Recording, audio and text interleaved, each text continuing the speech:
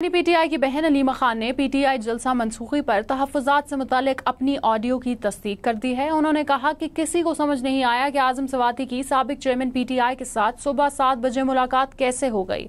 हमारे लिए ये अजीब बात थी। अडारा जेल के बाहर मीडिया से गुफ्तु करते हुए उन्होंने कहा कि बानी पीटीआई को इंतशार का खदशा ज़ाहिर करके जलसा मुलतवी कराया गया। आठ सितंबर का जलसा हर सूरत होगा।